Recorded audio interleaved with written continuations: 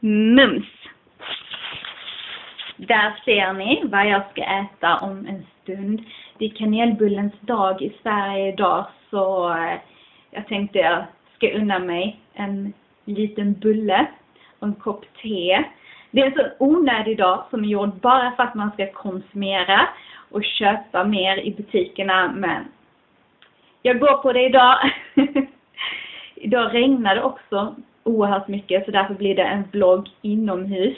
Det blir även en vlogg på svenska bara för att jag känner för det. Det känns väldigt ovanligt att vlogga på svenska.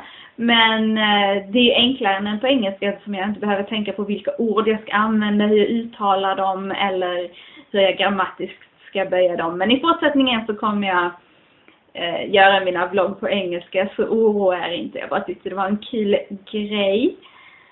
Och jag hoppas det slutar regna snart så jag kan få ut min hund på en lång promenad. För i morse vägrar hon. Hon vägrar när det regnar och går mer än fem meter. Sen vill hon in igen. Hon är så en liten sessa. Hon sitter här i mitt knä nu. Hon vill säkert ha mina kanelbullar tror jag. Eller så kanske hon bara vill ha lite klapp. Jag vet inte. Hon kan, kanske är helt oskyldig. Jag är inte säker. Hur som helst, ni får ha en bra dag allihopa. Hejdå!